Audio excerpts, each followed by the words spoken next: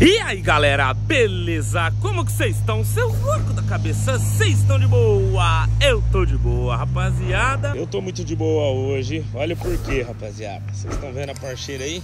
Então, mano, hoje o negócio é o seguinte Hoje eu tô aqui em São Paulo, eu tô aqui na Avantgarde Mano, eu tô aqui com um cara aqui, velho Que é especialista aqui numa coisa Que é deixar o carro fudido, mano. Top. E, mano, vocês sabem que eu tô louco pra deixar meu carro com barulho mais forte. Já tem um tempo, né? Porque ela tem um barulho bem tranquilo. E tô aqui com o Gui, mano. E aí, e aí beleza, Gui? bro? Beleza? Não sei se vocês já assistiram algum vídeo dele aí, né? Temos alguns Fazendo alguns remaps, algumas modificações. Fazendo uns fogos. E eu vim direto de Londrina, velho, só pra entregar o carro na sua mão. Porque eu quero que a Porsche Panamera berra, meu amigo. Faz- Vai fazer ela... É, esse motor ele tem um- algumas restrições ali no escapamento que a gente vai dar uma liberada. Isso vai subir bastante o ronco do motor e vai ficar bem diferente. Vai, ficar- vai mudar essa proposta desse carro, que originalmente ele não Ô, é ô, ele Gui, tem essa pegada. é, eu tava explicando pra rapaziada, né? O meu carro ali, ele é um carro que tem um, um super motor de baixo, só que a entrega da Porsche ali é pra ele ser econômico e... Como Imagina que que o teu carro ele tem dois motores. É, né? Então ele tem um motor elétrico, funciona muito bem. E aí eles pegaram um motor lá do RS4 e acoplaram ele no motor elétrico. Vem da RS4? É, é a mesma plataforma, chama EA839. Ô, louco, é dessa aí eu não sabia não. É, o mesmo da RS4. Tem algumas, algumas mudanças na parte exterior do motor, mas o bloco, o miolo, o, o- a essência do motor é a mesma. E aí, só que eles calibram esse motor, não com a mesma, vamos dizer, uma calibração parecida com Bem RS4. mais manso, né? Eles calibram ele para ser o mais econômico possível, porque o carro ele é híbrido, então ele tem aquela proposta quando ele vai vender lá na, na concessionária, né? Você fala, ah, nossa, vai comprar um carro que faz 30 por litro. É. E o motor tem que acompanhar, ele tem que injetar o menos faz. combustível possível. e é isso que a gente vai mudar. mas, mas pelo que eu tô vendo ali, já, já tá até o cano ali dentro ali, velho. Ah, já tem algumas coisas aí, faz parte daquele é o... kit de estágio 2, né? Olha aí, rapaziada. Nossa senhora. Olha a grossura disso aqui, velho. Rapaziada. É bruto, hein, mano? Como que é o nome disso aqui? Isso é- São, Ó, Nossa, que bonito, mano. É, aqui são ah, o que a gente chama de flexível de aço inox, né?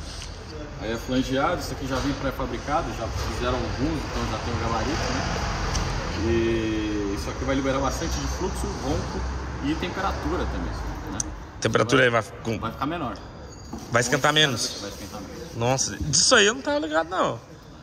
Até, até onde eu tava. até, onde, tipo. Que era a minha intenção é assim. Pra ficar barulhento. Ficar com barulho assim. É um esportivo mesmo. E ganhar uns cavalinhos a mais aí, né? Tirar também, ó. Um É, pouco do alta. delay do acelerador ali. Esse não carro, sei. quando ele tá lá com, com o ponteiro do, do contagiros entre 4 até uns 6 mil, ali vai ganhar bastante. Essa é a área que a Porsche deixou não explorada no motor. De 4 a 6 mil giros do motor? 4 a 6 mil mais ou menos, onde você vai ter um punch bem maior. Que é na hora que abre mesmo, bem dizer, né? É, se você vê, assim, quando você está acelerando na, na, na pista, na rodovia, ah, quando- você está mesmo com o pé no fundo e o carro vem trocando de marcha, ele está ali entre 4 e 6, ele não baixa para 1000, 2000. É, né? E é nessa área que você vai ter um fôlego extra. aqui Ixi, Maria. E que tem. Isso aqui, isso aqui vai um na, na entrada do outro. Nossa, olha o tamanho disso aqui, velho. Quantas polegadas é isso aqui? Aí deve ser umas, uma 3,5 aqui e depois vira 3. Ah, esse aqui, rapaz, dá até vontade de colocar na XJ, hein, velho? Essa eu quero ver, hein, velho. Quero ver na hora que. Vai dar pra passar ele no dinamômetro pra nós sentir, vamos passar também, vamos passar também para registrar também. E- Ele tem 462 cavalos. Você acha que, tipo, vai chegar mais ou menos quantos, assim? Tipo, uma estimativa, não precisa acertar, não. Ah, uns 100 cavalos vai vir a mais aí do que você tem. Acho que uns 100 cavalos a mais. É beirar os 600 ali. Acredito que sim. Aí, rapaziada. Bom, o carro tá aqui, né, ó. Tipo, tá um pouco sujo, né? Tomou umas mosquitadas, hein? Você veio dirigindo, certo? Então, eu ia, eu ia trazer de guincho, velho, mas ficaria Não. 12 mil reais carro é usar. pra vir e voltar. Eu falei, ah, meu, O carro é para usar. né? Tipo, eu acho que não vale a pena, não. E quando eu voltei de Londrina, tava bem pior. É, né? Eu pegou pouco mosquito. Então, mas olha aqui, ó. Ainda pedi pro tiozão ainda no posto dar uma limpada, né?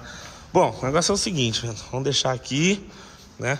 Vai fazer um. Sabe que- Bonita, né? É bonita, viu? Eu, eu acho que, tipo assim, dos carros que eu já tive, esse aqui foi o meu favorito, velho. Acho que é o carro que eu mais gostei, assim, até agora.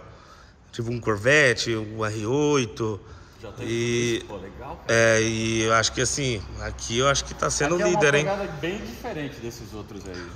Não Ele é, pegada mas- tão esportiva assim, mas ela é mais útil, eu acho, né? Dá pra Isso, usar melhor. essa é a palavra é? certa, dá pra usar. né? Porque o R8, o Corvette, cara, você não, não entra em lugar nenhum, você raspa tudo. tudo. E vamos ver qual vai ser o barulho que nós vai chegar aqui. Será que chega perto aqui dessa, dessa daqui, uma dessa aqui? É... Acho que é meio difícil, né? ali é aspirado, cara. Ali- É não? É, essa daí é o. E ali tá direto. Bom, rapaziada, ó. O negócio é o seguinte. Vamos ver como que vai ficar. Vai Eu, ficar legal, eu vou voltar aqui Vai gravar. Continuação. Agora, ó. Deixar aqui na sua responsa, velho. Obrigadão aí pela atenção. Agradecer o pessoal da Avantgard. Avantgard. e volta em breve aqui pra gente ver como que vai ficar aqui a parceira, rapaziada. Aí, ó. Deixando ela aqui. Colocamos um tampa-placa ali, topzera. E resultado final, vocês vão ver essa semana aqui no canal. Então, vão acompanhando aí, beleza? Olha os canos aí, ó. Toma. Aí, ó. Agora vai ficar digra, hein, mano? Ô, Gui, a turbininha dela, ó. Será que dá pra... Será que vai Duas. dar um assoviozinho legal agora ou não? Vai soltar um pouquinho, você vai ouvir um pouquinho da subida da turbina assim. Porque mesmo de escape original, 100% original, ele dá pra ouvir bem Vai lá no liberar fundo, bastante assim, esse, sabe? esse. Bem assim de saída. Assim, quando o carro tá começando a sair, Bom. você dá aquela primeira pegadinha, vai dar pra ver um pouquinho mais. É, Essa eu vou confiar em, vocês aqui. Já tô com sair lá de Londrina. Demorou. Bom, ó, tá entregue. Vou indo nessa. Agora vamos lá pro apartamento, onde a gente tá ficando. E aí, Mendola? Esse é o cara aqui, Mendola. Mano, agora eu acho que, né, melhor mão que essa aqui não tem. Então. O negócio tem que acontecer agora. É, então. Falei pra ele, nós volta daqui, sei lá. Daqui a pouco. Daqui meia hora, né? É, Consegue é. ficar longe do carro, que é uma beleza, né? Meia horinha tá pronto, Daqui tá meia não? hora, daqui o. Ô Gui, mas e é só virar. É é né?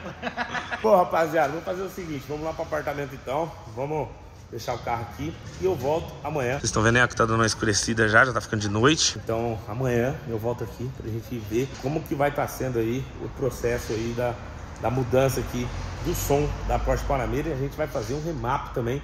Que vai ficar um negócio assim sensacional. Depois o Gui explica aí certinho, né, Gui? Os resultados e tudo mais. Bom, agora, amigo, te deixa aí, ó. O carro é seu, velho. Tá, tá na sua mão, tá na sua resposta. Bom, vamos lá então, rapaziada. Bom, rapaziada, chegamos no AP. E aí, Mendes? E aí, né? O APzinho aqui é maroto, hein? Tá. É clima de, clima de estúdio, né, velho? E ó, aqui a vista da sacada, rapaziada, ó. Mano, muito alto, mano. Você tá doido, mano. Conta de prédio.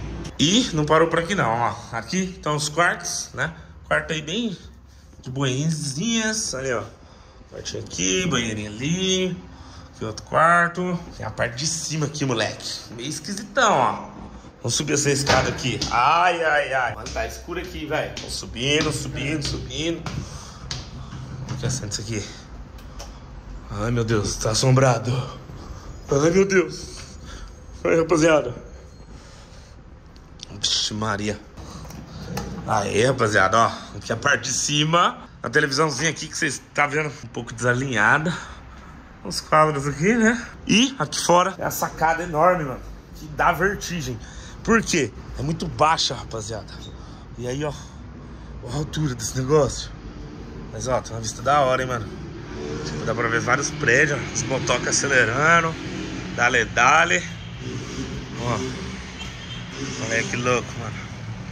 Top, né? Sei que assim, agora, mano, vou descansar, porque eu tô um pouco cansado. Peço pra vocês que a viagem me deixou bem exausto, me deixou bem cansado. E eu não sei não, mas eu tô um pouco gripado, então vou descansar aqui agora. Tô ansioso pra ver o resultado do escape da Porsche Panamera. Vocês vão acompanhando junto comigo, vocês vão ver tudo aqui no canal. Então fica ligado aí, deixa o likeão, comenta aqui embaixo o que, é que vocês estão achando dessa viagem aqui. Que eu vou estar de olho em todos os comentários, beleza? Bom, eu vou indo nessa. Muito obrigado todo mundo e até a próxima. É nóis, valeu e fui!